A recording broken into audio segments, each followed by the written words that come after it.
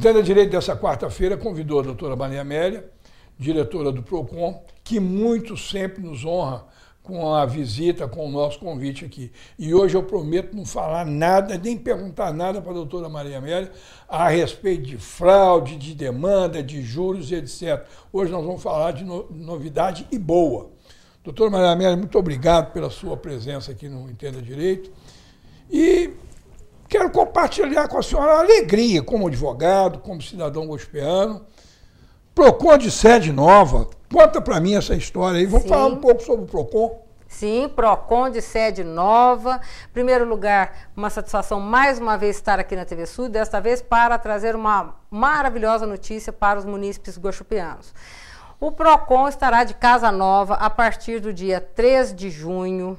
Ah, nós já abriremos funcionando na Avenida Felipe Elias Zeitune, número 502, ali no Complexo da Mogiana. E isso nos envaidece e é motivo de muita satisfação para o governo municipal, para nós, servidores do PROCON, porque significa que o nosso trabalho é reconhecido e tem credibilidade, doutor. É, eu acho que é, é, tanto a senhora como a administração pública, todos os envolvidos para a edificação da nova sede, é, estão de parabéns, porque eu sempre tive lá, lá no PROCON visitando a senhora e a sua equipe e vejo, né, tinha muita fila, muita demanda, e na realidade, quando foi construído o PROCON aonde atualmente ainda existe, ele era grande, mas Sim. aí agora se tornou pequeno. Sim. Né? Eu, eu, costumo dizer, doutor Daniel, quando as pessoas me perguntam por que nós construímos uma sede nova 10 anos após a construção dessa sede onde nós estamos, eu falo o seguinte: eu me casei, no primeiro ano de casado eu tive um filho, no segundo ano de casado eu tive quíntuplos. Então eu fiquei com seis filhos para colocar dentro de uma casa. Eu preciso de mais quartos, eu preciso de mais banheiros, eu preciso de um carro maior. Foi o que aconteceu com o PROCON.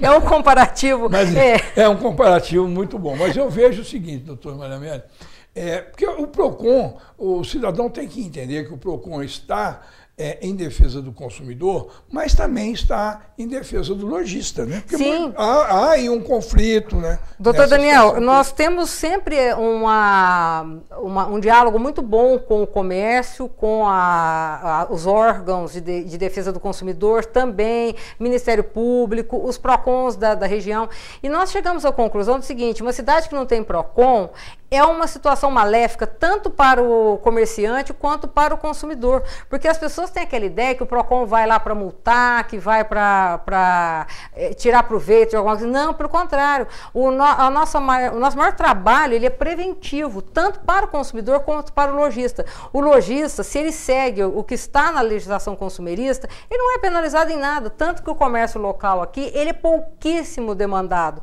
Quando ele é demandado, ele faz os ajustes necessários porque nós temos um trabalho preventivo junto ao comércio local. A nossa maior demanda é com as finanças, bancos, financeiras, é, é telefonia, coisa que não está ao nosso alcance, é. porque a gente faz esse trabalho preventivo. Procon está espetacular.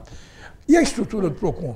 Vem com uma sede Sim. nova, vai ter um número maior Sim, de... nós temos hoje, doutor Daniel, o prédio é simplesmente o dobro. E lá em 2014, quando nós elaboramos esse projeto, era um projeto inovador, toda, toda a estrutura que nós tínhamos. Mas naquela época nós tínhamos 400, 500 atendimentos por ano. Não tinha projetos como nós temos hoje, que é, o PROCON vai até o, o, o, administrado, as escolas, os projetos de educação financeira, não tinha nada disso.